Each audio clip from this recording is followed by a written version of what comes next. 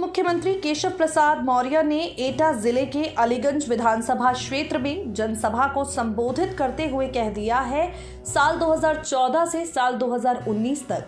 विरोधियों ने खूब कोशिश की, लेकिन बीजेपी के आगे नहीं टिके।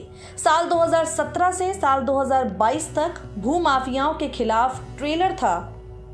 आगे देखना कैसे बुलडोजर चलेगा। प्रदेश में भाजपा की आंधी चल रही है, सपा का खाता पिछली बार चारों सीटों पर नहीं खुला, इस बार भी नहीं खुलेगा, वो मुंगेरी लाल के सपने देख रहे हैं। केशव प्रसाद मौर्य यही नहीं रुके, इसके आगे उन्होंने कहा, अलीगंज सीट पर सत्यपाल सिंह राठौर नहीं, केशव प्रसाद को प्रत्याशी समझें। मैं आपका सिर नहीं झुकने दूँगा, आप मेरा सिर ना झुकने दें।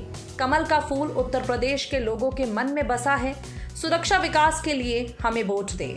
सपा बसपा कांग्रेस ने प्रदेश को बर्बाद कर दिया। सपा का नारा खाली प्लॉट हमारा। बड़े बड़े माफिया बिल के अंदर घुस गए। इन्हें बिल में रखना है या नहीं? अखिलेश यादव जी, ये वही सपा है जिसने जनता को छला था। ये सत्ता में नहीं आ रहे, सिर्फ़ धमकी दे रहे हैं। धमकी देने वालों की हम सूची बना रहे हैं। इनकी सरकार में खुद का साथ, खुद का विकास होता था। इनकी सरकार में धर्म और जाति के नाम पर समाज बांटा जाता था। जब भाजपा की सरकार होती है तो ऐसा नहीं होता। आज बताओ गरीब के घर में बिजली पहुँची या नहीं? ये कहते थे कि वैक्सीन भाजपा की है, लेकिन वैक्सीन तो वैज्ञानिकों ने बनाई है। इन्हें वैज्ञानिक याद नहीं आते। मतदान के दिन जाना है, कमल का बटन दबाना है। बताओ सम्मान निधि सबसे खाते में आती है कि नहीं? वो तो हिंदू के खाते में भी आती है और मुसलमान के भी। हमारी सरकार सबका साथ, सबका विकास चाहती है। नेक्स्ट नाइन न्यूज़ नेशन की रिपोर्ट